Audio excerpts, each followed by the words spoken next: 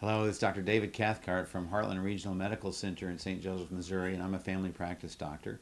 And we're going to talk about lung cancer, what causes lung cancer uh, primarily.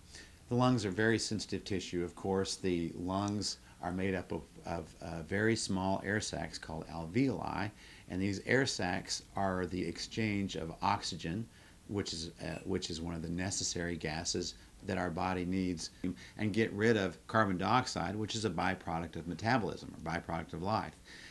So these uh, and and these these tissues are extremely sensitive to outside agents.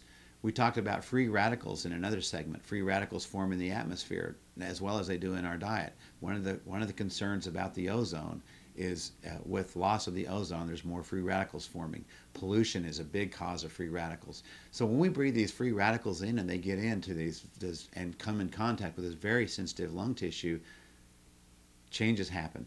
They happen at the DNA level that uh, affects the, uh, the, the programmed uh, patterns of how those cells replicate and divide. They start going haywire. They go crazy and they grow fast, and that is cancer. Those cancerous cells obviously don't work like regular cells do. Plus, they have a tendency to spread through the lymph system, as we talked about in another segment, to other parts of the body.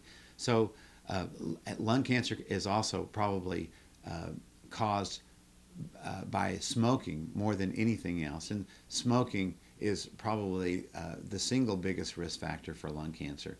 Uh, certainly, other ones are there as well, such as uh, such as pollution in the air, um, such as uh, coal miners. Uh, certainly, uh, people that are, are, that work around asbestos are also at high risk for developing lung cancer. This is Dr. Cathcart. Thanks for joining me while we talked about lung cancer.